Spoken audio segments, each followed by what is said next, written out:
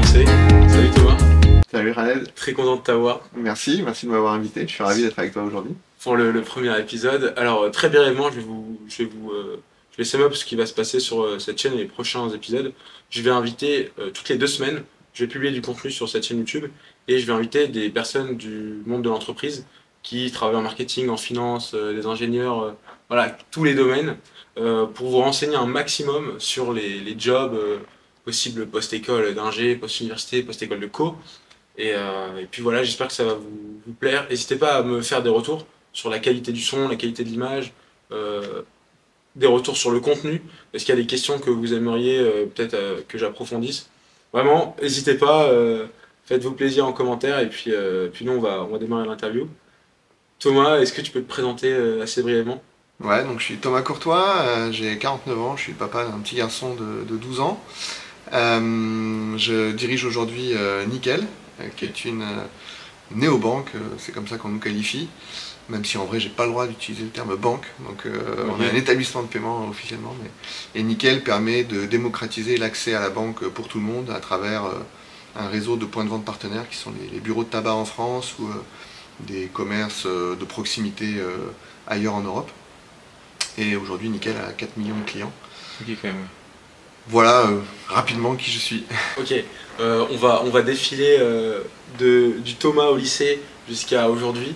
Quel profil est-ce que tu avais à peu près au lycée, grosso modo euh, T'es plutôt un bosseur, pas bosseur, matheux, littéraire? Ouais, au lycée, j'étais un gars assez sérieux, je pense. Pas forcément très bien dans ma peau d'ailleurs. Ok. Euh, c'est pas mes meilleures années, les années lycée. J'étais un peu complexé, j'ai- mais euh, j'avais des facilités en maths notamment ou dans les matières scientifiques, euh, qui étaient celles qui me plaisaient le plus. Euh, en revanche, pour toutes les matières dites littéraires, que ce soit le, le français ou les langues, j'étais nettement moins à l'aise. Voilà, et puis, et puis je pense que j'étais très immature aussi, donc je ne savais pas trop ce que je voulais faire plus tard. Et donc au lycée, dans mon orientation, mais c'est là que tu prends tes premières orientations. Exact, euh, donc j'ai fait le j'ai pris soin à chaque fois de, de prendre l'orientation qui me permettait d'avoir euh, d'ouvrir le plus de portes possible. Quoi. Donc, euh, donc j'ai fait un parcours hyper généraliste.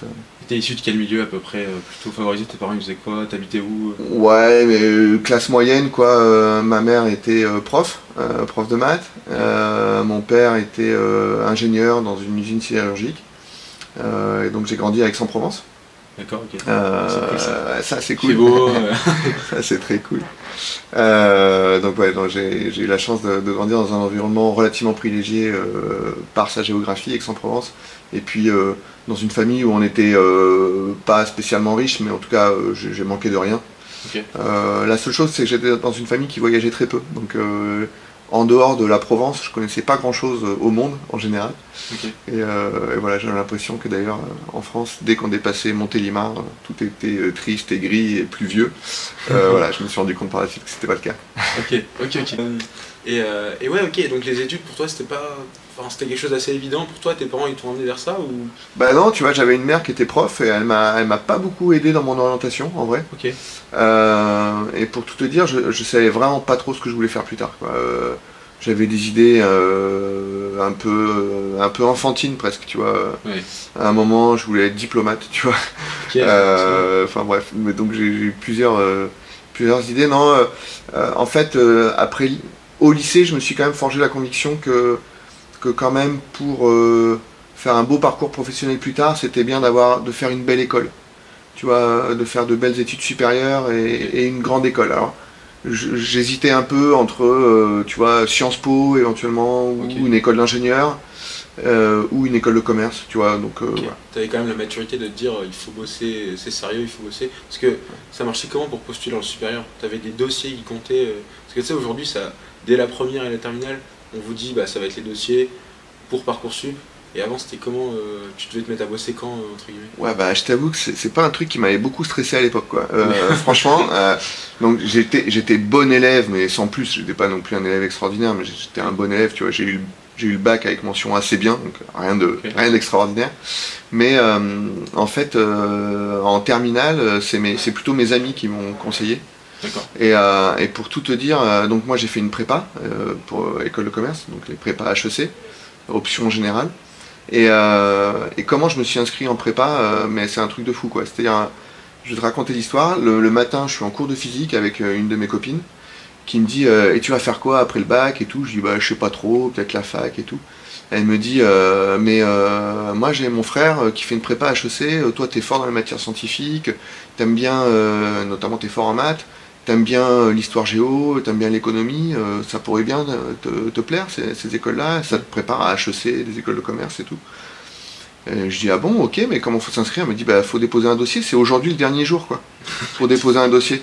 Je dis ah ouais très bien mais et donc je suis allé retirer mon dossier juste après le cours de physique à la récré. Euh, je l'ai déposé à midi et c'est comme ça que j'ai eu ma prépa.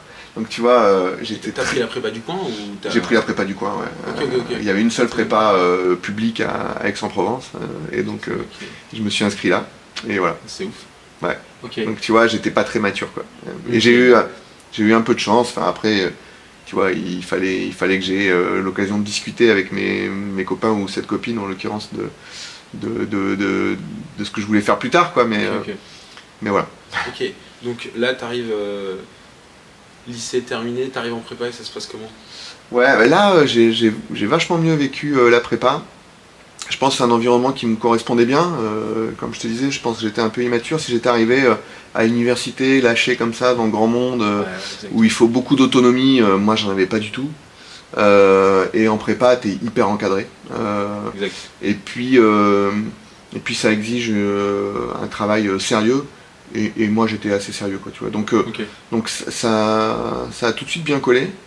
Euh, j'étais pas dans une grande prépa. hein, euh, moi, enfin, la prépa où j'étais avec Aix-en-Provence, euh, c'était, elle était toute nouvelle d'ailleurs. Et dans les classements des prépas en France, on était tout en bas. Donc j'avais pas du tout de pression particulière. euh, Ok. Prof bienveillant. Ouais, ouais, ouais, globalement. globalement, et mes camarades étaient hyper bienveillants. On avait, il y avait un vrai esprit d'équipe. Il n'y avait pas de compétition entre nous. Et, euh, et du coup, ça a été un cocon pour moi dans lequel je me suis euh, vachement épanoui, beaucoup plus qu'au lycée. D'accord. Euh, et donc, ouais, j'ai vécu des, des années formidables, enfin deux années formidables en prépa. Et d'ailleurs, les amis que je me suis fait à, l'époque en prépa sont encore aujourd'hui parmi mes meilleurs amis, tu vois. Donc, Ouais, comme quoi c'est pas du Ouais. tout un préjugé ou des stéréotypes.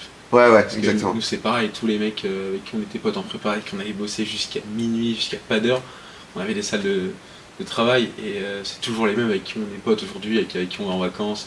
Bah ouais. Non, c'est excellent. Mais non, mais c'est vrai que euh, si tu veux, tu as quand même une forte charge de travail, une certaine, une certaine pression des concours qui vont arriver Ouais. à la fin de l'année. Et euh, nous, on s'était vite créé la conviction en- entre nous et tous mes potes que, euh, que bah, pour réussir, on serait plus forts tous ensemble. Et donc, on, ça a créé euh, ouais, un esprit d'équipe très fort et qui, qui, qui existe encore aujourd'hui avec certains d'entre eux. Quoi. Donc, euh, il n'y a pas eu un décalage, une espèce de choc entre le lycée et la prépa en termes de notes Parce que c'est. Pas trop. On m'avait tellement prévenu que les notes seraient moins bonnes, Ouais. etc., que j'étais pas trop stressé. Après, euh, moi, ce que je regardais, c'est est-ce que j'étais globalement dans la moyenne ou dans la moyenne supérieure dans la classe. Bon, Ok. et donc c'était le cas, donc je, je, je paniquais pas du tout. Quoi. Non, ça m'a pas du tout stressé. Ok, donc les deux années passent, Ouais. tu travailles à fond et tout, t'as dit que t'étais plutôt bon en maths? Ouais, c'était la matière dans laquelle j'avais le plus de facilité, ouais, de loin. Et il y avait des- ça se passait comment les épreuves euh, lors des concours Parce qu'il y avait plusieurs épreuves qu'aujourd'hui ça a changé, tu sais, il n'y a que deux épreuves de maths euh, HEC, maths 1, maths 2, maths et DQM, il y a maths et Cricom, il y a deux épreuves de géopo, mais il y a eu plus- enfin, il y a quoi, il y a 25-30 ans, il y avait. Je crois qu'il y avait vraiment plusieurs épreuves, il y a eu deux réformes depuis. Non, il n'y avait pas tant, pas tant que ça en fait. Je, pense- Ok. je, je suis pas sûr que ce soit si différent euh, d'aujourd'hui. Tu avais deux grandes banques d'épreuves, ce qu'on appelait. Tu avais effectivement Ecricom d'un côté et tu avais CCIP euh, de l'autre, donc euh, Chambre de commerce et d'industrie de Paris. Euh, Ecricom, tu avais cinq écoles dedans et CCIP, tu avais toutes les écoles supérieures de commerce euh, de province, plus euh, HEC, ESCP, ESSEC. Donc euh, voilà, tu avais ces deux banques euh, d'épreuves. Puis après, tu en avais quelques autres écoles indépendantes que tu passais quand même, rien que pour te faire la main. Ouais. Mais, euh, mais le- le- je dirais que l'enjeu était plus sur ces deux, deux grandes banques d'épreuves. Est-ce que chaque euh, est-ce que chaque école avait ses épreuves, en tout cas au moins les parisiennes, où euh, il y avait euh, une épreuve centralisée de maths 1 euh, pour tout le monde comme aujourd'hui? Non, alors tu vois, tu avais de mémoire, tu avais l'épreuve de maths HEC, mais qui pouvait servir à d'autres écoles aussi. D'accord. Et puis, euh, voilà, t'avais- d'accord.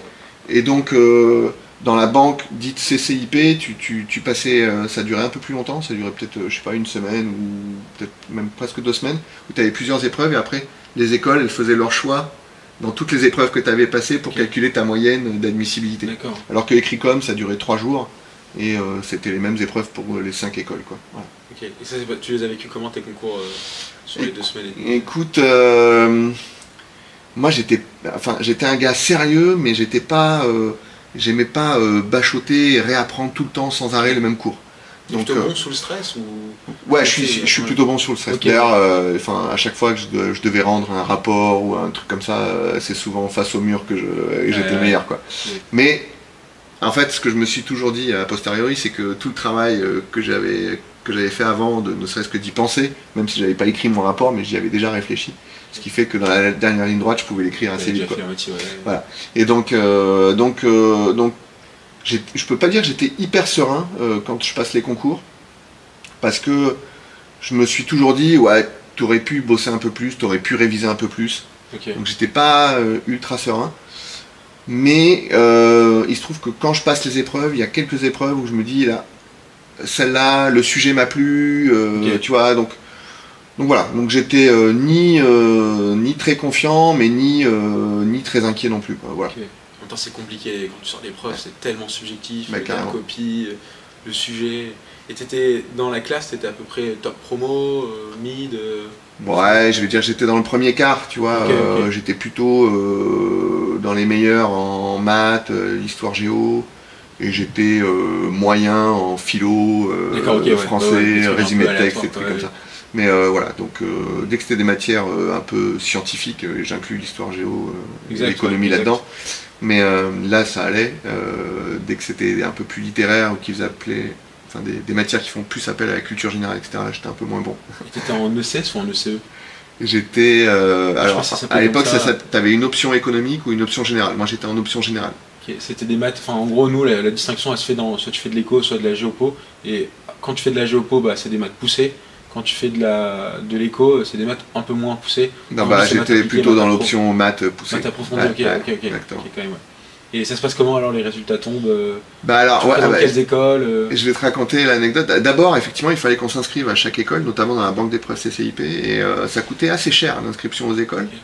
Et donc, euh, j'avais fait le choix de ne pas m'inscrire aux grandes parisiennes, parce que je me disais, la petite prépa d'où je viens, avec les résultats que j'ai, j'ai peu de chances de les avoir, donc je vais pas faire dépenser de l'argent à mes parents pour rien. Donc je me suis un peu censuré, un peu bêtement. Euh, et, puis, euh, et puis en fait, les résultats qui tombent en premier, c'est Écricom, et là, j'ai zéro école, rien. Walou, j'ai j'ai ah raté. ouais il y avait quelle école dans même après? Euh, et t'avais Nancy, Reims, Rouen, Marseille et Bordeaux. Là tu Et là, j'en ai aucune. Et là, je me dis, waouh, c'est chaud. Et ma femme, elle, elle avait tout eu, par contre. euh, ah elle était en prépa aussi Ouais, Ah, exactement, elle était en prépa avec moi. Et elle, elle a tout, quoi. Et euh, donc, euh, ouais, j'étais un peu stress là d'un coup. À tel point que je, leur- je le dis même pas à mes parents, que j'ai pas, que j'ai ouais. pas les résultats. Et je me dis, j'attends les résultats de la banque CCIP. Et là, en revanche, la CCIP qui tombe le lendemain, j'ai tout. Alors autant dire que je suis fou de joie, que c'est un des plus beaux jours de ma vie, quoi. Parce que quand t'as tout raté à Écricom et que t'as tout réussi à CCIP, tu veux, j'étais voilà, j'étais hyper content. Et euh, les meilleures écoles que j'avais, c'était euh, c'était EDEC, euh, euh. Audencia, qui s'appelait pas encore comme ça. ok Sud de Nantes Voilà, c'était ESCNA, École supérieure de commerce Nantes Atlantique. ok ok, c'est ouf ok Voilà, et, et donc, donc voilà. Et puis après, ap- donc tu es admissible, et puis après tu dois passer les, les oraux. Donc euh, je me fais, là tu tapes un tour de France. Donc euh, Ouais. pour moi qui avait presque jamais voyagé, c'était un truc de fou, tu vois. Même de savoir comment prendre le train, euh, tu vois, c'était un truc un peu nouveau pour moi, quoi. Et donc je fais le tour de la France. alors à chaque fois, les étudiants t'aident pour te trouver à te loger, t'accueillir Ouais, à la gare, etc. ouais. Donc c'était vra- vraiment un truc sympa, quoi. Et puis donc je fais un peu le tour de France et, et bon, parmi les meilleures écoles que j'avais et surtout l'école où j'avais eu le meilleur accueil, c'était euh, Nantes. Et, euh, et voilà comment je suis arrivé à Nantes. Ok, ok. Et donc, ça se passe comment aux oraux C'était comment les formalités? Est-ce que c'était très hard? Sais, on a beaucoup de stéréotypes de la prépa d'il y a 30 ans, euh, avec des mecs qui sortent des oraux, le gars avant toi il sort, il, il pleure, les mecs qui sont très très compètes aux oraux. tu l'as vécu comment ton... Moi je l'ai vécu assez cool. je me disais j'ai tellement d'écoles, je vais pas foirer 20 euros quoi, c'est pas Ouais, possible ouais, quoi. ouais, ouais. Donc, euh, donc je savais que j'aurais une école à la fin, quoi. Donc j'étais pas, j'étais pas trop stressé pendant les épreuves. Après, euh, j'avais des épreuves qui étaient, qui, qui étaient parfois un peu euh, perturbantes, tu vois. je me souviens, je me souviens à Lille, le sujet que, sur lequel je suis tombé, c'était Nadine de Rothschild éructe-t-elle Si oui, si oui, comment? Sinon, pourquoi pas quoi. Tu vois, donc des trucs Ouais. un peu, un peu complètement farfelus, donc qui pouvaient un peu stresser quand tu tires le sujet. Ouais. Qu'est-ce que je vais faire de ça? Mais, euh, mais globalement, non, j'étais pas trop, j'étais pas trop stressé. J'étais assez confiant euh, du fait que euh, de toute façon, je trouverais une bonne école. Si tu veux, le plus dur était fait quoi. Les- L'écrit était passé, les oraux, je les- j'ai plus vécu euh, assez cool. Donc, Et donc en général, tu avais une épreuve euh, de, de- de culture générale et puis des épreuves de langue. Ouais, D'accord, C'était assez à simple. peu près partout. Ok. Ouais. D'accord. Et donc là, cycle prépa terminé, tu passes tes concours, tu intègres Audencia et ça se passe comment l'intégration euh, Tes Ouais. années d'école? Ouais, bah alors tout de suite, euh, tout de suite, j'ai conscience que j'ai fait le bon choix en intégrant une école de commerce parce que les matières me plaisent et puis surtout les gens que je rencontre sur le campus, euh, je rencontre des gens extraordinaires quoi. Et, euh. Et vraiment j'ai ce, sentiment quand je de mes, mes premières semaines que je passe à Audencia que euh, euh, j'ai un sentiment de bonheur mais hyper profond quoi. Je suis hyper content parce que bah, c'est la première fois que je vis loin de mes parents. Euh, je découvre une nouvelle région. Moi, quand je suis arrivé à Nantes, j'avais jamais vu l'océan Atlantique, tu vois, juste pour te dire, tu vois. Donc je découvre, enfin, pour moi, c'est c'est une porte énorme qui s'ouvre sur le monde. Je rencontre des gens nouveaux parce que il y avait qu'un gars de ma prépa euh, qui, qui, qui, qui vient à Nantes avec moi. Et. En plus, c'était pas l'un de mes meilleurs potes, donc euh, très vite, euh, non mais Il a euh, fallu devenir pote. très vite. Ouais, au début, le premier jour, ouais, d'un coup, c'est ton Bah meilleur pote. Mais, euh, mais bon, assez vite, après, on s'est fait chacun nos, nos amitiés de part et d'autre. Et puis très vite, j'ai rencontré plein de monde. Et, et ouais, les, les premières semaines, j'adore les matières, j'adore les profs, j'adore la, la vie du campus, les étudiants, toi. les gens que je rencontre. Donc c'est un kiff pas possible. J'ai même un souvenir hyper précis du- d'une fin de soirée à Nantes où je rentre chez moi à pied. Et je me dis, mais putain, c'est ça le bonheur. Quoi. Excellent. je te promets, j'ai un, souvenir très net. euh, vraiment, j'étais hyper heureux. Ok. Et ça se passe comment en termes de cursus? C'était 3 ans, 4 ans? C'était trois ans. 3 ans Trois Première ans, année, donc tu as une première année qu'on appelle le tronc commun. Euh, et donc où euh, Tu découvres un peu les matières. je euh, découvre les matières, euh, marketing, compta, euh, le droit, bref, j'en passe. Donc c'est- ça reste encore assez scolaire et t'es es quand même assez encadré. Et je te dis, moi ça m'allait bien aussi, tu vois, Ouais, d'être ouais, encadré. Euh, donc, euh, donc voilà, ça c'était la première année. Puis en deuxième année vient l'heure des premiers choix, tu vois, tu choisis tes premières options. Il n'y avait euh, pas de stage euh, l'été? Tu sais, nous, Alors, on avait un stage si. obligatoire de 2 mois. Ah si, alors j'ai fait un stage à la fin de la première année, mais moi je fais un stage à Aix-en-Provence parce que je me dis, bah, l'été, C'est pour moi l'été c'était la Provence, C'est les cigales, le ciel bleu, bref. Et donc, donc je vais faire un stage. en fait, je contacte l'annuaire des, des anciens et je- j'essaie de trouver euh, qui sont les anciens qui bossent à Aix ou à Marseille, quoi. Et, euh, et donc euh, j'en vois un qui est directeur financier d'une boîte euh, qui faisait des huiles pour les, les moteurs moto et, bref, et donc voilà, donc je vais, je vais, je vais là-bas. je, suis, je suis super bien accompagné par mon maître de stage et je fais un stage assez intéressant juste à côté de chez mes parents, donc ça allait très D'accord, bien. ok. Et donc, dans la finance déjà Ouais, euh, la finance, que... la mission qu'on m'avait confiée, c'était qu'en fait, donc c'est une boîte qui devait livrer euh, en huile tous les garages euh, du coin, les garages moto euh, de toute la région euh, PACA et puis euh, Languedoc-Roussillon.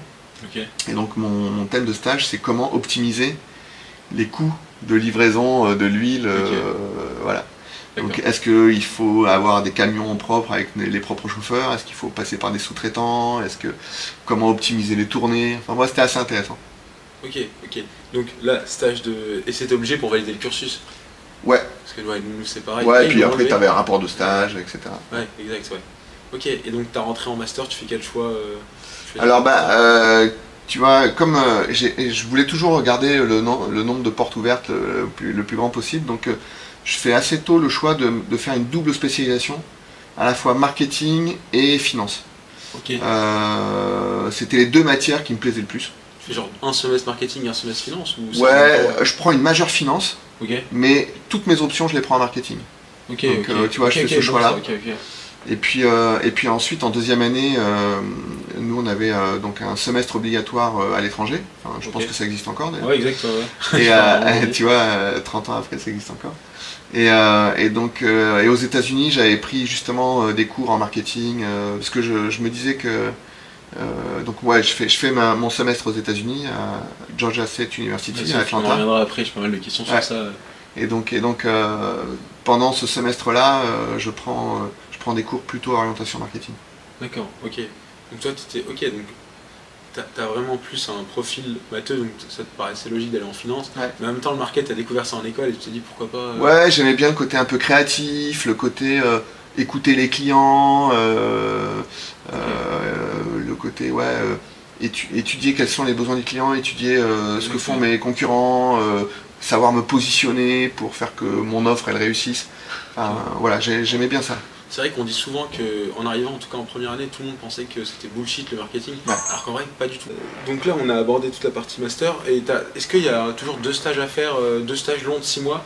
Parce que nous, nous, pour valider, c'est un stage court, un stage long, et euh, euh, deux stages longs et euh, une période d'échange de six mois. Non, et nous à l'époque on avait beaucoup moins de stages et je pense que ça, ça manquait un peu dans, dans nos formations. Et moi j'avais qu'un stage de 4 mois euh, en dernière année euh, à faire. Tu vois, C'était le stage euh, de fin d'études C'était le stage de fin d'études, ouais. Ok, d'accord. Donc, euh, donc vraiment, on avait beaucoup moins de vie en entreprise que, que maintenant, et je pense que ça manquait, franchement. Ok. Parce qu'aujourd'hui, on a. En gros, dans le cursus, tu peux même faire un cursus en 4 ans. Parce qu'on a deux fois 6 mois de stage et tu peux même prendre une année, c'est ce que je disais en off. Tu as un an, et puis si tu as, envie de développer une boîte, tu as envie de, de bosser pour coffrer pour l'école, c'est encore possible. Ouais, nous, il y avait une année de césure qui était possible. Euh. En général, c'était euh, pour un projet d'un an d'entreprise, mais euh, très peu le faisaient. Tu vois, Euh, moi, dans ma promo, on était 350 de mémoire, alors Ok. beaucoup moins que euh, maintenant. ouais. Et euh, il y en avait une vingtaine qui ont fait une année de césure, donc tu vois, très peu. Ok. Donc, euh, Ok, donc stage de fin d'études, tu le fais dans quelle entreprise et comment tu as ton stage? Alors là, euh, en fait, euh, d'abord, j'ai fait un stage optionnel entre la deuxième et la troisième année. J'ai fait un stage d'un mois euh, en Espagne, à Barcelone, euh, chez AXA. Euh, là, c'est un stage euh, ouvrier, tu vois, je suis euh, dans un service administratif, je saisis euh, des polices d'assurance pour les chasseurs, donc c'était une niche qu'ils avaient. Et donc euh, voilà, donc je, je saisis les polices d'assurance. Euh, et donc voilà, donc j'ai ce- cette première expérience chez AXA. Et puis au moment de chercher le stage en troisième année, tu as, un forum des entreprises, tu vois. Et il y a AXA qui vient. Et donc euh, et notamment tu la patronne du marketing euh, qui, qui vient. Et, euh, et je lui dis bah moi j'ai fait un stage chez AXA en Espagne, machin, j'ai une double spécialisation marketing finance. J'aimerais beaucoup faire un stage chez vous au marketing quoi. Et, et donc elle a tout de suite retenu ma candidature si tu veux, tu vois. Excellent. ouais. et donc, et donc voilà, donc c'est comme ça que j'ai trouvé mon stage sur le forum. Ok. Et donc ça c'est le petit stage. Non, c'est le stage de 4 mois. Ah c'est le gros stage, ok, Ouais. Donc tu le fais chez AXA finalement. Ouais. Tu me demandais comment j'ai trouvé mon stage à Barcelone Le, le petit stage, ouais. Euh, bah, Donc le, le petit stage entre la première et la deuxième année, je l'ai fait en consultant l'annuaire des anciens. Et le stage euh, en Espagne, euh, je le fais parce que là, mon père m'aide, parce que lui, il a un contact, un de ses anciens camarades de promo qui bosse en Espagne, et, et voilà, c'est comme ça que je trouve. fils, voilà. Euh, ok, donc euh, dernier stage chez AXA, t'en retires quoi euh, globalement? Bah, je fais mon stage de fin d'études chez AXA, grâce notamment au stage que j'avais fait l'été en Espagne. Et donc je le fais au, au marketing et je le, je le fais au moment où il y a la fusion entre AXA et UAP. Donc c'est le moment qui a un peu perturbé pour les équipes centrales des deux entreprises. Et, et donc bah, il y a un peu moins de boulot. Euh, et en fait pendant tout mon stage je vais principalement me concentrer sur accompagner euh, l'un des responsables marketing euh, d'AXA qui venait d'écrire un bouquin et qui faisait des conférences un peu partout en France sur le thème du consomme acteur, donc à quel point le consommateur prend le pouvoir sur les entreprises euh, par sa consommation, à quel point il peut influer sur la stratégie des entreprises, qui est un thème qui est hyper d'actualité encore aujourd'hui, je trouve, euh, 30 ans après. Euh, et, euh, et voilà, donc euh, du coup j'apprends beaucoup auprès de lui, euh, sa connaissance du marketing, ses intuitions, ses- enfin voilà, donc ça c'était assez, euh, euh, assez passionnant. Euh, Ça renforce ta conviction que tu veux bosser dans le marketing ouais, complètement. ou- Ok. Complètement, je trouve, euh, je trouve que c'est fascinant à quel point la société évolue, à quel point finalement, euh, c'est d'autres enjeux de pouvoir. On parle souvent du pouvoir politique ou euh, tu vois, de comment les citoyens euh, votent, etc. Mais là, je trouvais que prendre conscience du, pouvoir des consommateurs sur les entreprises, je trouvais ça, je trouvais ça hyper intéressant de se dire et de se dire comment les entreprises vont s'adapter à ça et comment elles continuent d'ailleurs à s'adapter à ça. toutes les politiques RSE qui sont en train de se mettre en place, elles sont essentiellement guidées par les consommateurs, en vrai. Euh, je, trouvais ça, je trouvais ça assez fascinant. Voilà. Et donc là, on fait un petit bond en arrière sur son échange à Georgia State University. Big entreprise, big université d'ailleurs. Très grosse université, notamment dans la tech. Ouais. Est-ce que toi, tu y allais pour ça ou tu as juste mis ça parce que tu avais des bonnes notes et tu t'es dit je vais aller aux US euh Écoute, euh, pourquoi j'ai choisi Georgia State University Pour deux, deux, raisons essentielles. La première, c'était que dans, dans, le cadre de cet échange, on, est, on, est, on assistait à des cours de MBA. Euh, donc d'un niveau un peu supérieur à celui qu'on pouvait trouver dans d'autres universités américaines euh, avec lesquelles euh, avait des accords. Donc voilà, donc je trouvais que les cours étaient le meilleur niveau. Et puis aussi, ce que j'aimais beaucoup, c'est que Georgia State University, le campus, il est en, plein cœur d'Atlanta, pas dans un campus un peu éloigné. Euh, et, donc vivre au cœur de la ville américaine d'Atlanta, ça me, je trouvais ça intéressant aussi comme expérience de vie. Et, et voilà, donc c'est comme ça que j'ai choisi JSU. Ok. Qu'est-ce que tu as appris là-bas? C'était quoi tes SP euh? Bah donc j'ai fait, euh, en fait, euh, on avait trois, trois cours et tout ça, ça prenait, je sais plus, bah, une douzaine d'heures dans la semaine. Mais avec beaucoup de travail personnel et de, travail en équipe aussi derrière. Du sport aussi un peu. Mais et ouais, j'ai fait grave du sport. Mais les moyens, ouais. non, j'étais pas dans une équipe et j'ai fait beaucoup de natation. Il y avait, il y avait une piscine qui était incroyable. et, et, donc j'ai fait beaucoup de natation là-bas. Et donc j'avais des cours en marketing international, en gestion de projet et euh, marketing fondamental, un truc comme ça. Et donc euh, voilà, donc je des matières euh, plutôt orientées marketing qui complétaient ma majeure finance que je faisais à, l'école. Et voilà, et c'était fascinant. Et puis après, j'ai beaucoup appris bah, l'anglais, même si j'ai gardé un, sacré accent français, mais enfin, en tout cas, j'ai considérablement progressé en anglais là-bas. voilà, et puis, puis bah, tu apprends aussi une autre culture, une autre façon de voir le, le monde de l'entreprise voilà, c'était passionnant. Et puis ça m'a aussi beaucoup ouvert euh, à l'international parce que les autres étudiants avec lesquels j'étais, ils venaient euh, du monde entier. Quoi. Il y avait... pas avec des franco-français avec qui tu parlais français et tu progressais pas. Ah, exactement. Il y avait beaucoup, euh, il y avait des Indiens, il y avait des, des Sud-Américains. Enfin, c'était assez fascinant. Ok. Donc maintenant, retour à, ton, à ta, ton stage de fin d'études. Tu as fini ton stage en market chez AXA qui fusionne avec une boîte. Comment tu as ton premier job? Est-ce que tu signes directement après chez eux ou tu vas à la BNP Non, bah non, je, en fait, comme ils étaient en pleine fusion, euh, donc les, recrutements sont gelés chez AXA. Donc euh, aucune chance de, trouver un job là-bas. Euh, donc j'écarte tout de suite cette hypothèse. Alors quand même après, après mon stage, j'avais encore deux mois pour finir l'école, les derniers cours et puis passer l'examen. Donc voilà, donc je suis diplômé en juin. Euh, l'été, euh, je passe de bonnes vacances. Euh, et puis, et puis moi, à l'époque, il y avait encore le service militaire, donc je devais partir à l'armée en février. donc 1998, je suis diplômé en juin 97. je dois partir à l'armée en février 98. Et je t'avoue que je me pose pas trop la question. Quoi. Pendant l'été, je me laisse un peu porter. et j'ai le sentiment que j'ai passé de super vacances jusqu'en février, jusqu'à partir à l'armée. Et là, euh, ma mère me, passe une douche froide euh, en septembre. Elle me dit Bon, écoute, euh, voilà, maintenant, ne crois pas que tu vas te la couler douce jusqu'en février. Trouve-toi un stage, débrouille-toi, trouve-toi un boulot, mais gagne ta vie et tu restes pas à la maison. faut que tu partes. Sur le coup, je t'avoue que je l'ai super mal vécu. J'imagine. mais ça m'a fait, fait, tout bizarre, quoi. J'étais tout peinard, tu vois chouchouter à la maison, machin. Et là, ma mère me dit, bah non, tu, tu, tu, tu sors. tu te débrouilles, quoi, t'es grand. Et euh, donc, elle m'a mis face à ma responsabilité. Et je pense que c'est l'un des plus grands services qu'elle m'ait rendu. Parce que bah, du coup, le jour même, je me suis mis à envoyer euh, des CV pour essayer de trouver un stage. Alors, je cherchais plutôt en Provence, tu vois. Euh, et je me rappelle, j'envoie les lettres. Et dès le lendemain, ça, ça m'avait bluffé, BNP, qui allait devenir BNP Paribas un peu plus tard, la BNP me rappelle en me disant, ben voilà, euh, nous on a une opportunité à Paris euh, pour un stage d'assistant chef de produit au marketing, euh, et qui était, qui était le job de mes rêves, d'une certaine façon. Et Et moi, quand je postulais pour un stage avant de partir à l'armée, tu vois, je me disais, bah, je vais trouver ce que, ce que je peux, quoi, tu vois, euh, dans la région. Donc j'étais un peu prêt à tout. Et le fait qu'on m'appelle pour la direction du marketing de la BNP en centrale pour un stage d'assistant chef de produit, c'était, euh, c'était le job de mes rêves. Et ça, voilà, donc euh, dès le lendemain, je suis à Paris pour passer l'entretien. euh, je suis pris. Je me débrouille pour trouver une convention de stage euh, pour euh, avoir un statut de stagiaire. Et voilà, et ça commence comme ça.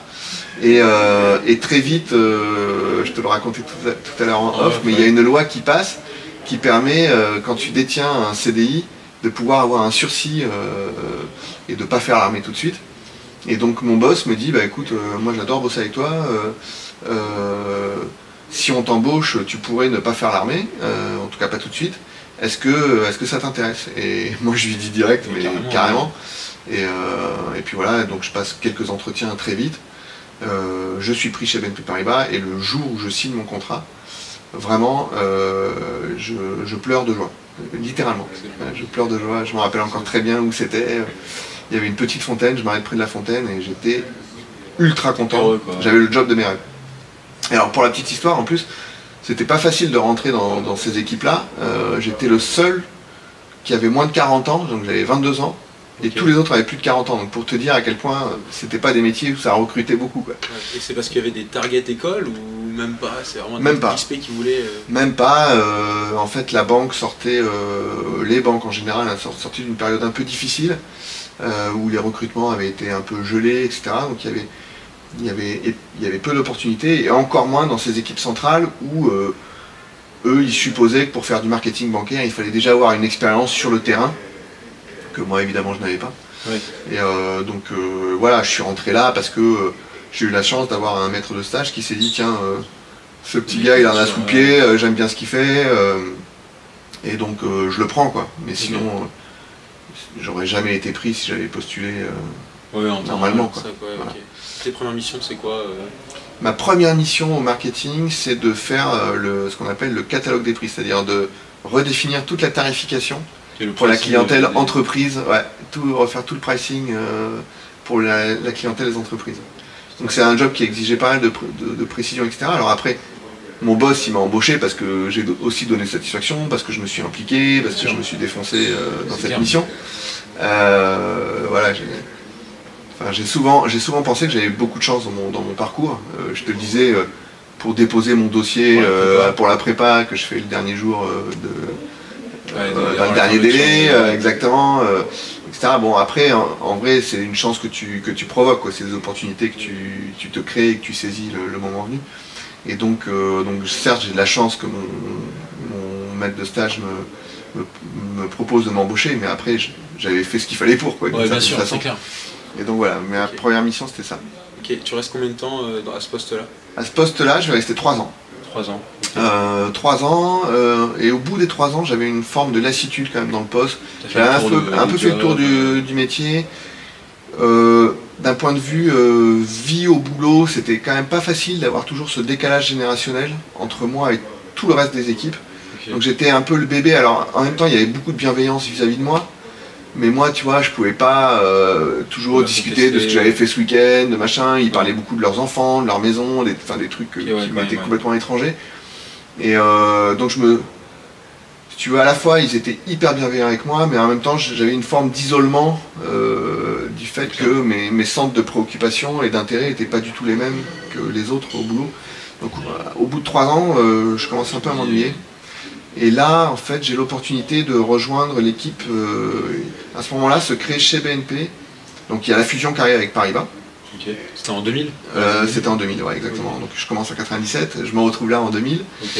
Et euh, au bout de trois ans, et, et là se crée une équipe marketing internationale pour euh, coordonner l'activité marketing de toutes les filiales de banques de détail, donc les banques avec les agences, de BNP Paribas dans le monde.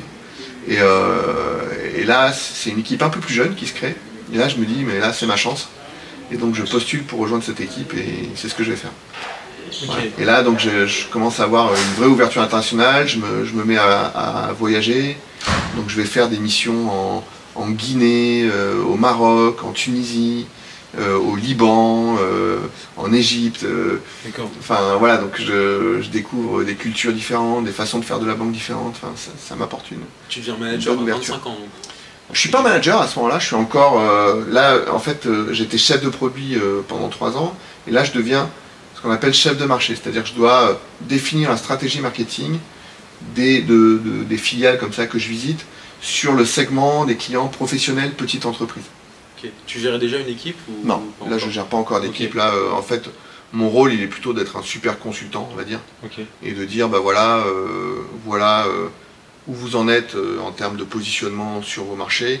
Voilà comment on pourrait le faire évoluer pour développer cette, la clientèle dans chacun des pays. euh, voilà. Ok. Et donc tout au long de ton parcours là, euh, chez la BNP, parce que tu as toujours, été chez la BNP avant de passer chez Nickel Ouais. Ok. Et donc tu as, eu quelle mission à peu près euh, L'évolution euh, Bah donc euh, après ces deux postes en marketing, euh, je rejoins l'inspection générale. C'était une volonté de ma part. l'inspection générale chez BNP Paribas, c'est un peu une école interne qui te prépare aussi à acquérir d'autres compétences et, te prépare à, et te prépare à être un manager plus tard. Parce que moi, je passe 4 ans et demi en marketing, donc je développe une, une spécialisation sur le marketing, mais, mais je suis pas un banquier, tu vois, j'ai jamais eu de client en face de moi, euh, Ouais. j'ai jamais eu à traiter un dossier de crédit, ce qui est quand même le, le cœur de la banque, Ouais. Euh, j'ai jamais eu à gérer des comptes, euh, donc euh, d'une certaine façon, je suis un super expert en marketing et en définition d'offres, positionnement prix, Ouais, même un peu communication euh, commerciale. T'as quand même des hard skills euh, du master que tu avais. Voilà, j'ai quand même des hard skills de, de finance, mais j'ai pas d'expérience terrain et quand même ça manque. Hmm. Euh, et donc, euh, et donc je fais inspection générale pour, pour continuer à apprendre. Si tu veux, C'est- pour moi, c'est à la fois un métier et une école. Et donc, euh, et donc là, je vais passer 4 ans et demi à l'inspection générale. Et l'inspection générale, en fait, c'est euh, c'est des missions euh, qui se font partout dans le groupe BNP Paribas, dans tous les métiers. Alors BNP Paribas, c'est un groupe euh, immense, hein, c'est Ouais, c'est clair. 200 000 personnes euh, dans plus d'une soixantaine de pays, dans des métiers très différents qui sont l'assurance, euh, les marchés de capitaux, le, le retail banking, euh, la banque privée, euh, enfin bref, donc des métiers très variés. Et donc pendant 4 ans et demi, je vais faire des missions de 3 mois dans les différents pays où est implanté le groupe et dans, pour auditer différents métiers. Donc j'apprends mais plein plein de choses. Quoi. Je rencontre un monde fou entre ceux que j'audite et ceux avec qui je fais équipe. Euh, donc je me crée un réseau euh, extraordinaire dans, le groupe BNP Paribas. Ouais. Je, je voyage beaucoup en Amérique latine, en Amérique du Nord, euh, un peu en Asie, en Afrique aussi, en Europe. Donc je, je découvre des cultures nouvelles, des métiers différents, des façons de travailler différentes. Donc ça, ça m'enrichit énormément pendant 4 ans et demi. Ok. Et en- et- ouais. ouais, non, pardon, vas-y, vas-y. Vas-y, non, et au bout de ces 4 ans et demi, en fait, euh, donc j'ai euh, pendant 2 ans et demi, je suis ce qu'on appelle inspecteur, et puis pendant 2 ans, je, suis- je deviens chef de mission. Euh, donc c'est moi qui pilote les missions, donc c'est ma première expérience de management, vraiment. T'as quel âge à peu près? Euh, là, quand je- donc euh, c'est en 2002, j'ai 27, 26 ans, 28, quoi. Ouais, 26, ouais, quand 25-26 même. ans. Voilà, Ok, c'est là que je commence à, à être, à manager les, les premières équipes, euh, des équipes d'inspecteurs en l'occurrence. C'était pas le management le plus difficile de ma vie d'ailleurs. hein. Ouais. C'est des équipes, c'est que des gens qui avaient tous mon âge, euh, qui sont tous euh, sérieux. avec euh, voilà les, à peu près le même profil que moi, donc et puis qui est très ambitieux, donc c'était assez facile entre guillemets. Mais voilà, et puis et, donc un moment où je présentais les conclusions d'une mission à l'un des membres de la direction de- du groupe BNP Paribas. Euh, le gars me dit bah tiens, on vient de racheter une banque en Ukraine. euh, Est-ce que ça t'intéresserait de rejoindre l'équipe euh, qui fait l'intégration de cette banque euh, au sein du groupe BNP Paribas et, de partir là-bas, euh, piloter le plan de transformation de, de cette banque euh, en Ukraine? Et je lui dis tout de suite, ben oui, pourquoi pas. Ah, C'était un peu naïf parce que je me dis, euh, l'Ukraine, euh, euh, je me dis l'Ukraine c'est l'Europe, euh, bon, ah, ça doit être euh, Très loin, alors ça que, doit être, ouais. euh, ouais. Et en fait, euh, c'est une culture qui est tellement différente de la nôtre. Donc euh, je me rappelle le premier jour où j'arrive à Kiev, euh, je me dis waouh, ça va être chaud. Et, euh, donc, euh, donc voilà, mais je dis oui à la fois un peu sur un coup de tête et non parce que quand je suis à l'inspection, je vois des tas de métiers différents dans la banque et je me dis que moi le métier qui me plaît, c'est le métier de la banque, ce qu'on appelle la banque de détail, c'est-à-dire la banque qu'on connaît tous, celle avec des agences qui sert des clients particuliers, professionnels, entreprises. D'accord. Euh, et j'aime ce métier-là parce que c'est à la fois très concret, parce que tu vois tes clients et puis tu vois immédiatement ce que tu leur apportes. Et puis c'est des métiers aussi où il y a beaucoup de management, parce que tu, tu animes des équipes de, de- de commerciaux assez importants. Donc voilà, donc, très vite c'est vers ce métier que je veux m'orienter. Et, et puis j'ai envie de, de voyager, j'ai envie de découvrir de, nouvelles cultures encore dans- peu- à Privilégier. Et donc quand on me propose l'Ukraine, euh, je dis oui tout de suite, je me dis je, je fonce, vas-y.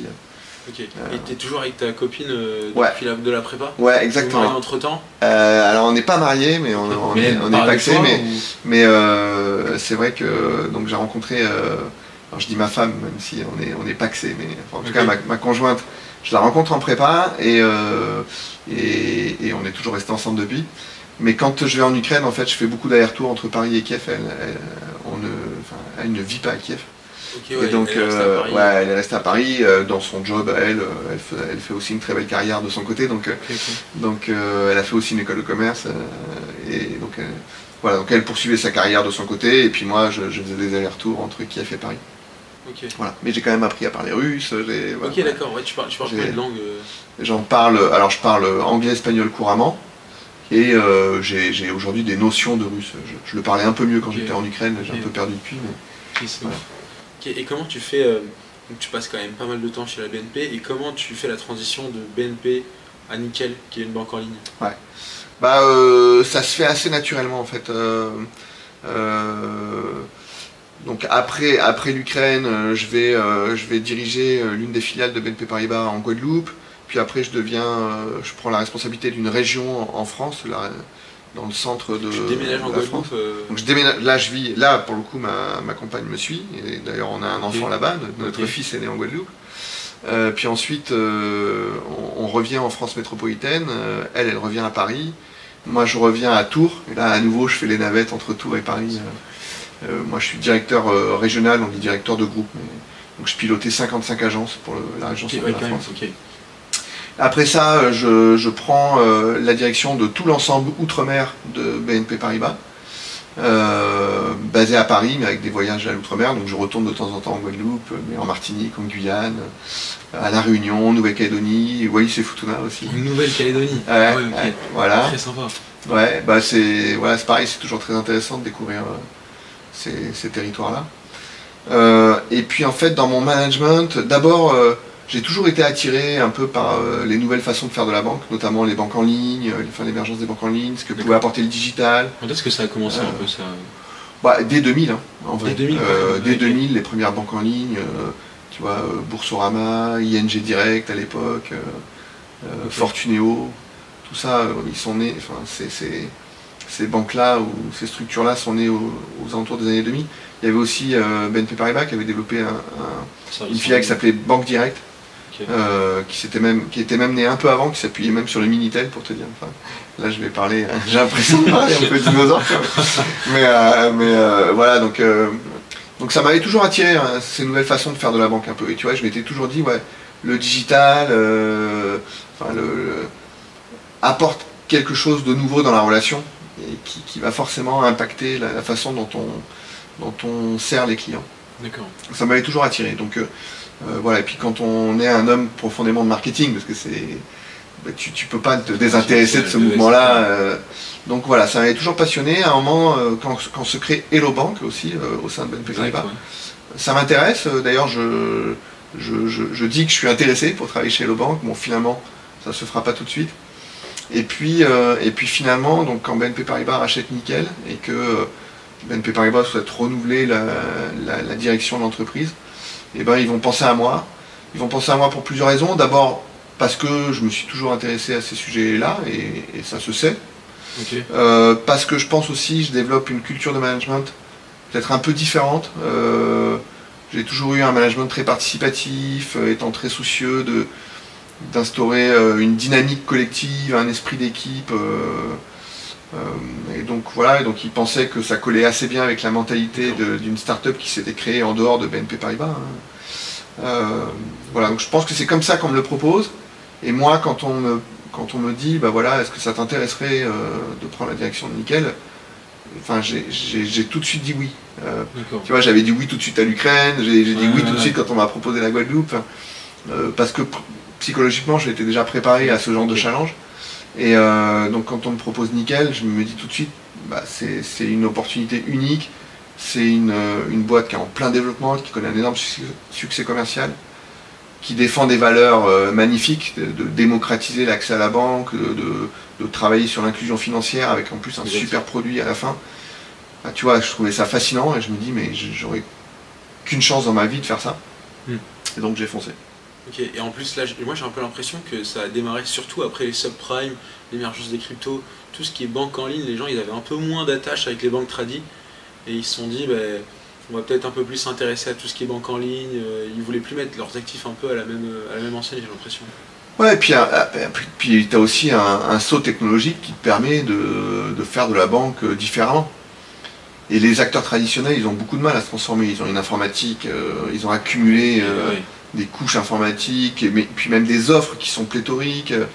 Donc voilà, et, et c'est vrai que vers 2014-2015 émergent de nouveaux acteurs euh, que je peux citer, hein, Revolut, N26, euh, euh, Nickel et d'autres, et qui, qui vraiment se concentrent sur la banque du quotidien. Comment on peut améliorer la banque au quotidien, c'est-à-dire un compte, une carte, la façon de consulter ses opérations, la façon de payer en France mais aussi à l'international, etc.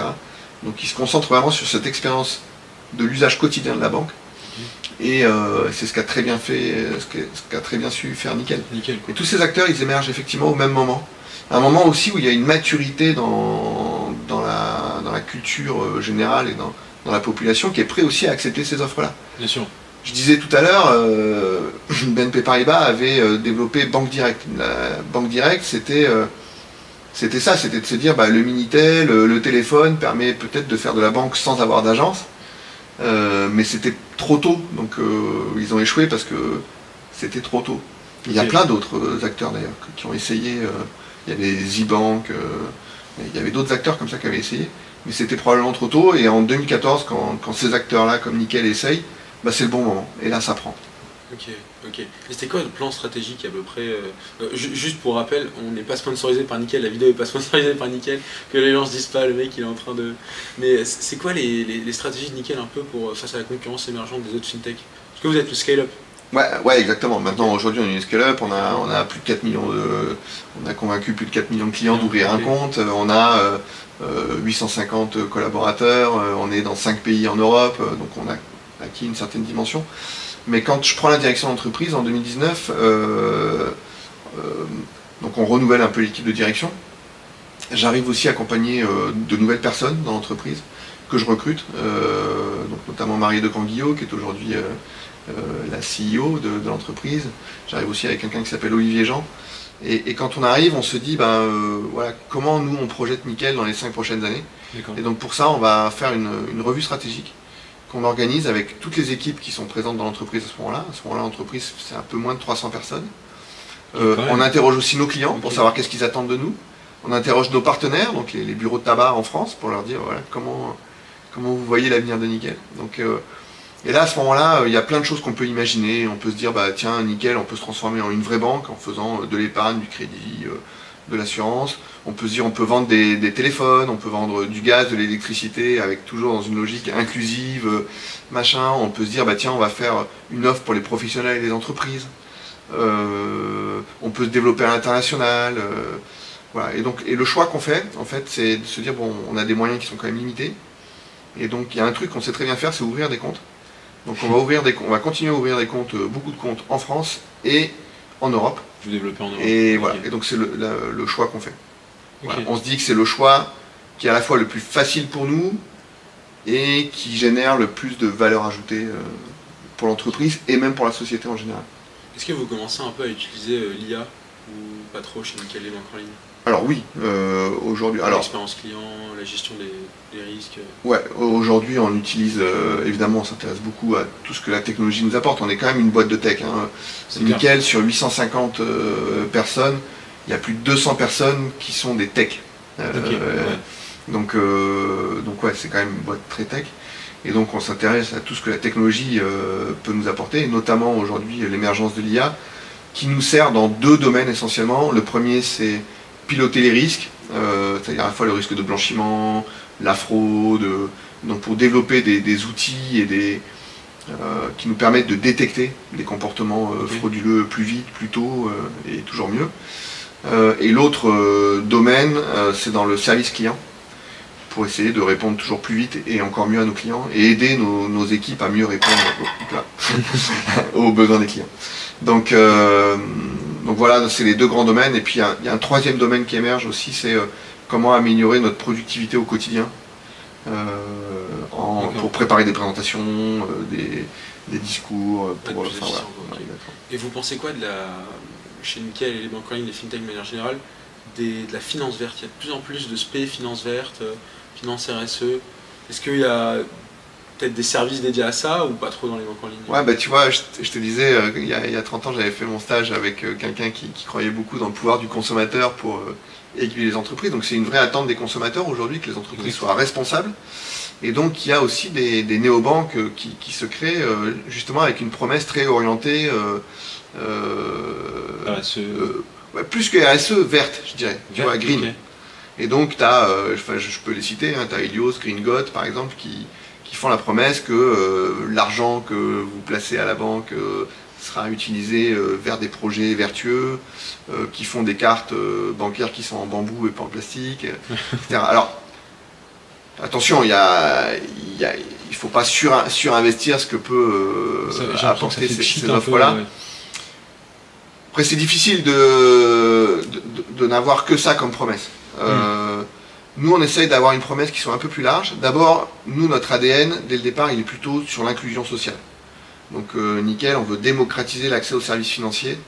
Nous, notre baseline, c'est le compte pour tous. Donc, notre promesse, elle est claire, on veut pouvoir servir tout le monde le mieux possible. Et quand tu sers tout le monde, c'est y compris ceux qui sont un peu exclus de la société ou du monde bancaire. Donc, nous, notre ADN, il est vraiment là. Euh, donc on se concentre là-dessus, on se concentre sur la qualité de service euh, que l'on apporte, mais on se préoccupe aussi de l'impact environnemental qu'on peut avoir. Et là, c'est plutôt dans le, choix des technologies qu'on développe. Et euh, enfin, un truc tout bête, mais c'est ne serait-ce que sur la façon dont, mon serveur informatique consomme de l'énergie. Bon, bah, toi, ça, c'est des points de préoccupation qu'on a. Euh, et on le fait à la fois dans, un, dans une logique green, mais aussi dans une logique d'efficacité tout court. Quoi. Donc, euh, voilà. on se préoccupe de ces sujets, mais en tout cas, on n'en a, pas fait un axe marketing euh, majeur. Ok. Et comment tu fais, toi, de ton côté? Parce que tu prends un jalon, tu as de plus en plus de taf.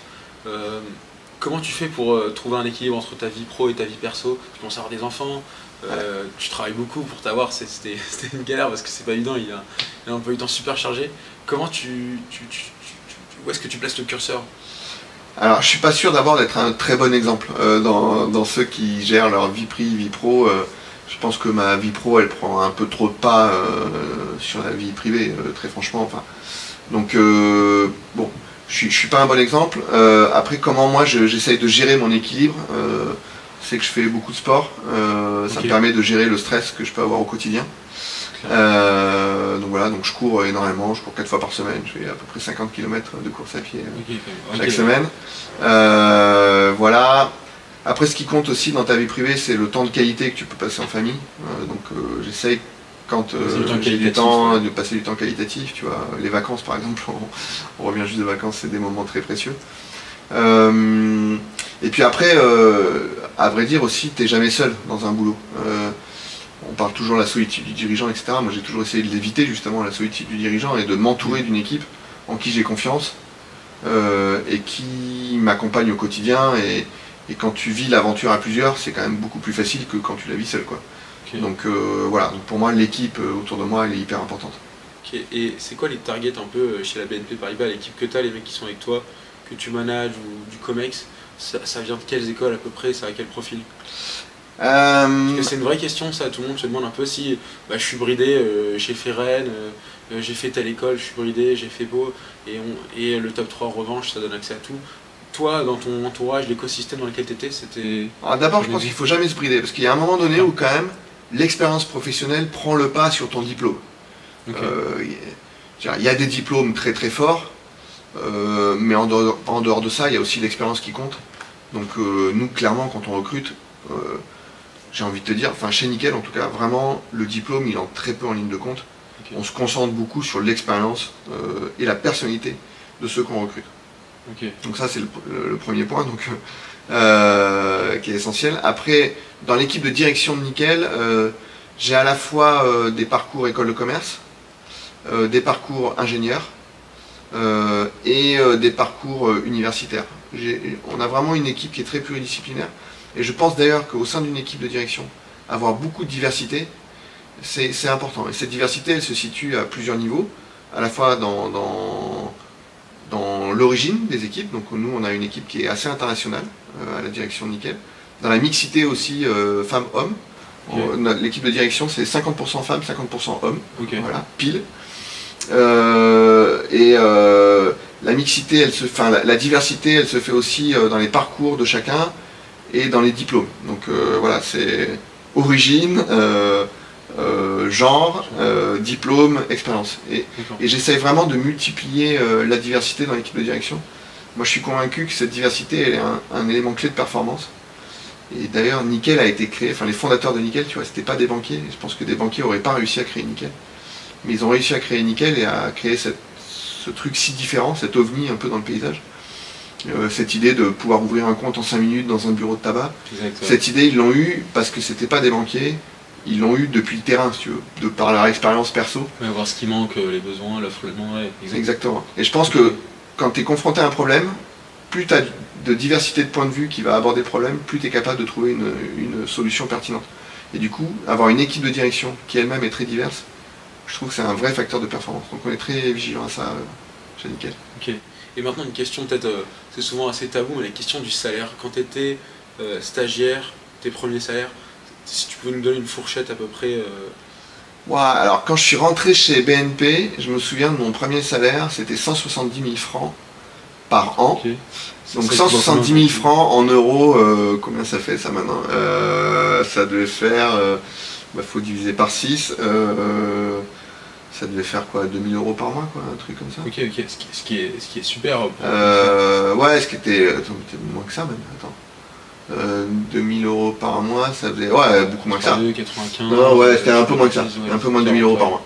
Donc, euh, donc voilà. Euh, en fait, j'ai jamais mis trop, je me suis jamais trop pris la tête avec mon salaire. Peut-être j'ai tort d'ailleurs. je sais pas si j'ai super bien négocié mon salaire au cours de mon parcours, mais, mais je me suis jamais trop pris la tête avec ça. J'ai toujours privilégié les expériences. et je me suis toujours dit que le salaire suivrait. Et globalement, ça a suivi. Si tu veux, aujourd'hui, je euh, je pense que si j'avais, si j'avais fait d'autres choix dans mon parcours, j'aurais pu gagner beaucoup plus. Mais je ne sais pas si j'aurais été plus heureux. Donc, euh, donc voilà, j'ai, jamais trop placé le salaire au premier rang. J'ai toujours privilégié euh, le, mes passions, ce que j'aime faire. Et j'ai toujours privilégié ce, que, ce que je faisais au quotidien, avec qui je le faisais, plutôt, que, plutôt que mon salaire. Et quel conseil tu donnerais, que ce soit aux étudiants en prépa qui nous regardent, aux étudiants en école, euh, aux jeunes diplômés qui veulent travailler dans le secteur bancaire? Quel conseil tu donnerais? Est-ce qu'il y a des prérequis à avoir, des certifications à passer, euh, peut-être un diplôme euh, spécifique? Alors, premier, déjà le premier conseil que je pourrais donner, c'est que c'est un beau métier. faire, faire de la banque, c'est quoi? C'est aider ses clients à réaliser ses projets. si tu prends la banque de ce point de vue-là, c'est un métier super, super beau, super noble. Euh, donc voilà, j'encourage euh, euh, les futurs diplômés à, s'orienter vers ces carrières-là. C'est aussi un secteur dans lequel il y a une variété de métiers qui est incroyable. la banque, on peut faire de l'informatique, des ressources humaines, du marketing, de la communication, du conseil aux clients. donc c'est un, un, domaine dans lequel il y a des métiers très très variés. Et donc après, je dirais, euh, c'est sûr que d'avoir euh, une coloration en finance dans son parcours, si on se destine à la banque, c'est quand même ça aide. Euh, et, mais les portes d'entrée sont très nombreuses dans cet univers-là. voilà. Tu peux rentrer en market et finir en finance, quoi. Bah exactement, ce que, ce que j'ai pu faire moi. Ok, et tes potes qui étaient partis en finance, globalement, ils ont, est-ce qu'ils ont continué dans les banques françaises? Ils sont allés aux États-Unis ils ont, fait, ils, ont, ils ont switch vers des banques américaines, euh, des banques suisses euh ah, Dans mon groupe de potes, j'ai fait un, choix un peu atypique. Euh, ils sont peu à avoir choisi la banque. Il y en a un autre qui a choisi la banque, mais lui, il avait plutôt choisi les marchés de capitaux. Et il a fait une très longue carrière jusqu'à Londres. Et puis, et là, depuis quelque temps, il s'est mis à son compte. voilà, donc en indépendant. Mais, mais voilà, non, j'ai pas eu. Dans mon groupe d'amis, on n'était que deux à avoir choisi la banque. Il n'y a pas de mec qui voulait. Parce qu'aujourd'hui, tout le monde veut aller en banque et tout le monde essaie de trouver ce premier stage, euh, que ce soit en banque française ou en banque américaine. Parce qu'il y a énormément de screening, des assessment centers, euh, plein de formations aujourd'hui. Il y, a une offre euh, très diverse et variée. Et il y a une vraie demande et une vraie sélection à l'entrée.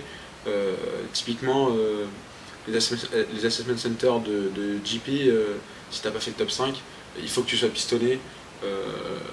Et il y a pas mal de, banques américaines notamment qui, font une présélection à l'entrée. Il y a des banques uniquement top 3, des banques top 7. Euh, tu vois, c'est. C'est ouf, ok. Donc avant, c'était beaucoup plus. Euh, ouais, après, même encore aujourd'hui, hein, je te dirais, les portes d'entrée sont quand même très variées. Après, ça dépend de ce que tu veux faire. Mais euh, mais je pense que ce que tu dis, en recruter top 3 ou, euh, top 5, euh, c'est dans des métiers très, très spécialisés, mais la banque, les, métiers sont plus larges. Si tu, veux, euh, travailler en agence, un BTS banque te, suffit largement, tu vois. Donc, et puis nous, chez Nickel, enfin, il y en a une variété de métiers folles aussi, mais tu vois, nos, conseillers clients, chez nous, on recrute sans condition de diplôme, sans condition d'expérience. Donc, donc euh, on a de tout quoi. J'ai euh, d'anciens vendeurs de prêt-à-porter, euh, d'anciennes coiffeuses ou coiffeurs, j'ai d'anciens serveurs ou serveuses au restaurant, j'ai enfin j'ai des enfin j'en ai qui ont des parcours très fous. Nous on se concentre sur l'envie de rendre service à nos clients. Voilà, et puis et puis nous derrière après on les forme. Donc, donc voilà, donc, si tu veux, ça dépend vers quelle carrière tu te projettes dans la banque, mais mais globalement, euh, l'univers bancaire est quand même très très ouvert. Mais je suis surpris de, enfin, je suis, agréablement surpris de ce que, tu me dis. Tout le monde veut travailler en banque parce que j'ai l'impression que l'image des banques, elle, n'est pas là où elle devrait être dans l'opinion. Je trouve que l'image des banques, en, tout cas en France, elle n'est pas toujours très très bonne.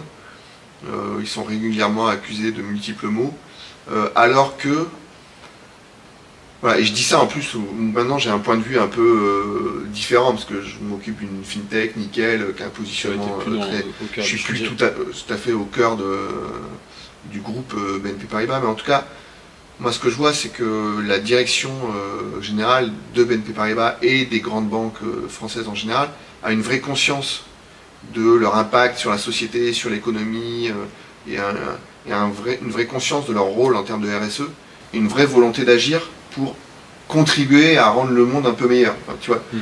ça paraît un peu naïf, fleur bleue de dire ça, mais, mais c'est vrai, en vrai. Hmm. Euh, qui aurait l'idée de se dire, ben, je, veux gagner un maximum d'argent, peu importe ce qui se passe derrière moi. tu vois et donc, et nos dirigeants, ils ont une vraie conviction. Et, euh, et, je trouve qu'on leur rend assez mal. voilà. Donc je trouve que c'est jugé très sévèrement parfois dans l'opinion. Et vous, chez Nickel, vous avez quel... Euh, c'est quoi un peu l'objectif dans les prochaines années, euh, notamment en termes d'expansion en Europe, de diversification de produits, de services? Alors, euh, ouais, ta question est très intéressante. Euh, c'est vrai que pendant 5 ans, notre priorité, ça a été de, grandir et de capter un maximum de clients. Et on est passé entre 2019 et aujourd'hui de 1 à 4 millions de, comptes ouverts, hein, grosso modo. donc ça, le Covid a un peu quand même. tu penses qu'il y a eu. Alors, bah, le, le, Covid, d'une certaine. En fait, ce qui est marrant avec Nickel, c'est qu'à chaque fois qu'il y a une crise, on me dit Ah ouais, mais du coup, cette crise, elle, vous aide dans votre développement. Alors, il y a eu plusieurs crises successives. Hein. Euh, il y a eu euh, euh, la crise des Gilets jaunes, quand je suis arrivé.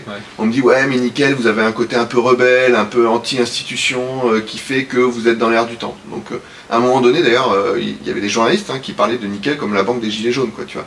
moi, je me suis, moi, j'ai toujours dit On est la banque pour tous. Mais euh, donc il y en a qui, disaient bah, la crise des gilets jaunes, ça aide nickel. Bon, je suis pas sûr que ce soit vrai, mais euh, voilà, il y en a qui disaient ça. Ensuite, il y a eu le Covid. Euh, et nous, il se trouve que les bureaux de tabac, ils, sont restés ouverts pendant toute la crise, au service des clients, etc. Ce qui n'était pas le cas de tous les autres acteurs, de tous nos concurrents. Donc nous, on a été hyper ouverts, hyper disponibles pour nos clients. Et donc, il y en a qui disent, bah, le Covid, finalement, vous a aidé. Euh, ensuite, tu as eu l'inflation. Et on te dit, ah bah ouais, mais vous, nickel, vous êtes 3-4 euh, fois moins cher que les banques traditionnelles, donc l'inflation que vous êtes. Donc à, chaque fois qu'il y a une crise, on, nous dit, bah la crise vous a aidé. Justifie. Et alors pourquoi en fait euh, Pourquoi ça? Bah, Parce que moi je suis convaincu que quand tu fais un service très simple au juste prix, avec la seule volonté de répondre le mieux possible aux besoins du client, bah, tu es toujours dans l'air du temps. Et qu'à chaque crise, révèle, rappelle ce besoin d'aller à l'essentiel, euh, un bon service au client au juste prix. Et, et nous, c'est ce qu'on fait. Donc effectivement, on peut dire que ces crises nous ont servi, mais, mais on aurait réussi aussi sans ça. Sans ça, tu vois. Euh, donc voilà.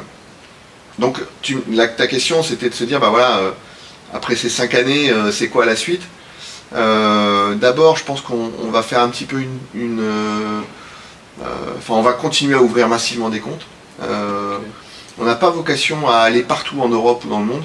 Donc euh, déjà on veut aussi se concentrer sur euh, les pays qu'on a ouverts, euh, faire qui réussissent aussi bien que la France. Mais on a une phase où nos clients, en fait, ils nous utilisent comme leur compte principal, et donc ils attendent de nous ce qu'une banque leur apporte traditionnellement, c'est-à-dire des offres de crédit, d'épargne et d'assurance. Et donc on est en train justement d'essayer de développer ces offres-là, mais de le faire avec toujours l'esprit nickel, de faire en sorte que ces services soient hyper simples, hyper accessibles, au juste prix, et disponibles pour tout le monde. Faire un crédit qui est disponible pour tout le monde, c'est pas facile parce que Non, exact, ouais. même une assurance d'ailleurs. Euh, mais nous, on le fait vraiment dans une logique toujours très inclusive. Donc, euh, ce qu'on dit souvent, c'est qu'après avoir démocratisé le compte courant, on voudrait démocratiser les services financiers. Donc, c'est ce qu'on est en train de faire et on le fait avec des partenaires. Des partenaires qui peuvent être au sein du groupe BNP Paribas, mais pas seulement. Euh, on essaye de s'entourer des meilleurs euh, fintech, euh, des meilleurs acteurs pour combiner nos forces et apporter ces services à nos clients. Voilà ce qu'on fait. Il y a, il y a- moi, il y a une question qui me taraude les lèvres depuis tout à l'heure. C'est euh, comment tu as vécu la crise des subprimes quand tu étais à la BNP Parce que tu étais au cœur de, Ouais. au cœur de la crise. C'était comment euh, Mal. Euh, je la vis, en plus, moi à ce moment-là, je suis en Ukraine. Et l'Ukraine, qui est, qui est un pays qui était plus fragile économiquement que ne l'était la France, ces, ces- économies émergentes, elles, elles subissent les, les chocs beaucoup plus forts que, que, que des économies développées comme la clair. France, où il y a tout un système de protection sociale, etc., qui joue.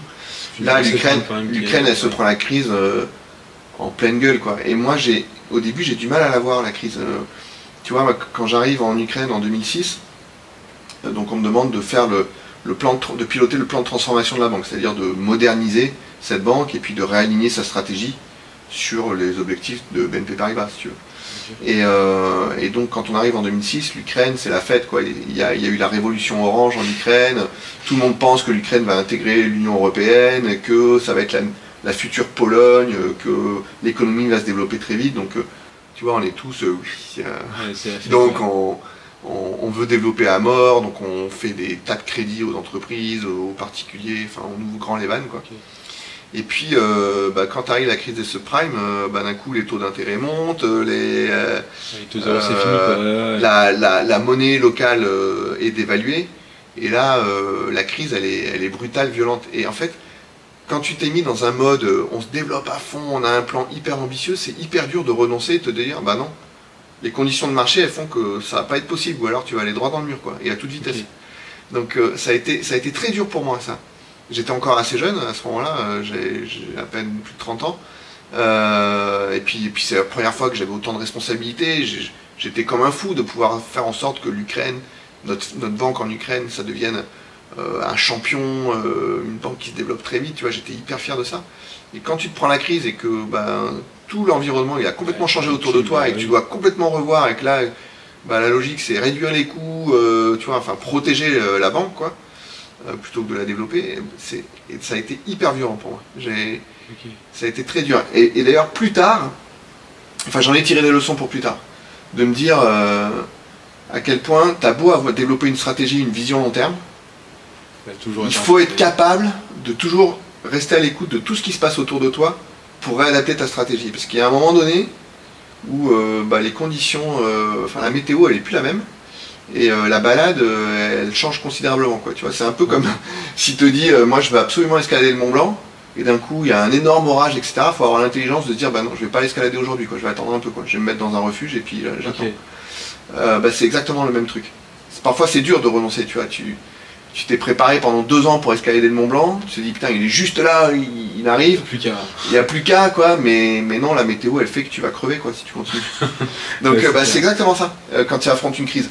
Tu vois, d'un coup il faut, il faut avoir la lucidité de voir la crise arriver le plus tôt possible pour t'adapter à la crise le plus tôt possible. Ça veut pas dire forcément renoncer au Mont Blanc, mais ça veut dire peut-être prendre un équipement différent, quoi, tu vois. Ok, Voilà. attends, plus, ok. Euh, ok, ben, le mot de la fin, est-ce que tu aurais peut-être un conseil, euh, un mot à dire pour les gens qui cherchent encore leur voie, que ce soit au lycée, euh, en prépa, en université, en école euh, Bah moi, un conseil que je peux donner, euh, et c'est celui que j'essaie de, de- de- de- de suivre, c'est de euh, suivre vos envies, vos passions, plus que poursuivre un salaire. Quoi. Euh, j'ai- la vie est trop courte pour pas donner de sens à sa vie. Euh, et moi, c'est ce que j'ai essayé de faire. À chaque fois, je, je me suis dit, voilà, qu'est-ce que j'aime faire, qu'est-ce que j'ai envie de faire? Et j'ai été guidé par ça. Voilà. Et, je- et à la fin, je pense que j'ai fait un parcours dont, dont je suis assez fier. Quand je me retourne, je me dis, bon, ça je suis assez fier de ce que j'ai fait Ah, jusque-là. Euh, voilà, euh, ça m'a permis, de m'épanouir euh, professionnellement, personnellement. Euh, voilà, c'est peut-être le conseil que, que je donnerais. Voilà, essayez de comprendre euh, ce qui au fond de vous euh, vous guide, vous plaît, et puis concentrez-vous d'abord là-dessus que sur le chèque qu'on vous donnera à la fin du mois. Ok. Voilà, Merci beaucoup Thomas pour ton intervention. je t'en prie. Merci à toi. Merci à toi, et puis je souhaite surtout bonne chance à ton, à ton podcast et à ta série. Euh, voilà, je, je trouve que c'est, tu fais ça avec beaucoup de sincérité, d'enthousiasme, donc euh, vraiment, je te souhaite bonne chance. Bah écoute, merci beaucoup. Euh, N'hésitez pas à nous faire vos retours sur, sur l'épisode que vous venez de visionner. Nous, ça nous aide beaucoup en post-prod de savoir qu'est-ce qui a été, qu'est-ce qui n'a pas été, comme je le disais en début. Et, et ouais, faites-nous des retours. euh, quels invités est-ce que vous aimeriez, recevoir euh, Quel secteur Et, euh, puis, j'espère que, ça vous a plu pour ce premier épisode.